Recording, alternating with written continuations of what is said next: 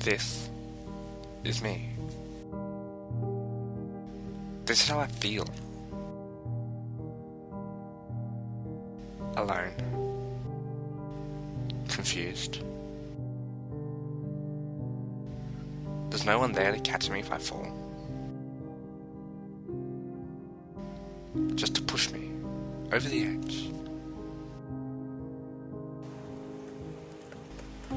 There's nowhere to run. Nowhere to hide. They expect me to choose. But I'm caught in the middle. Always in the middle.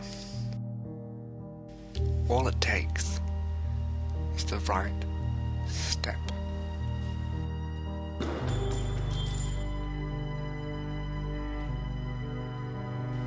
be transformed and transform yourself.